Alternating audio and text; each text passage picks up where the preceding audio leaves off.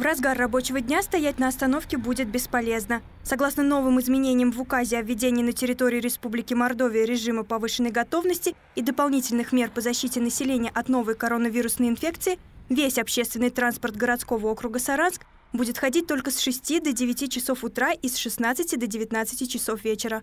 Автобусы, троллейбусы и маршрутки должны использоваться строго по назначению, возить людей на работу туда и обратно. И это не все новшества. В соответствии с указом главы Республики Мордовия с 23 апреля приостанавливается э, льготный проезд пассажиров с использованием единой социальной электронной карты жителя Республики Мордовия за исключением льготного проезда на работу или с работы и других разрешенных в указе случаев. Подтверждение права на льготу, справка от работодателя с указанием режима работы, а также паспорт. Именно на работу попасть можно будет без проблем. Только Горэлектротранс ежедневно будет выводить 60 автобусов и 50 троллейбусов.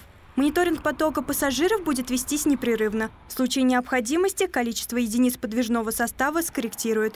Позаботиться и о мерах безопасности. Салоны обрабатываются э, всеми э, средствами разреш разрешенными. А, значит, э, средства индивидуальной защиты э, значит, выданы.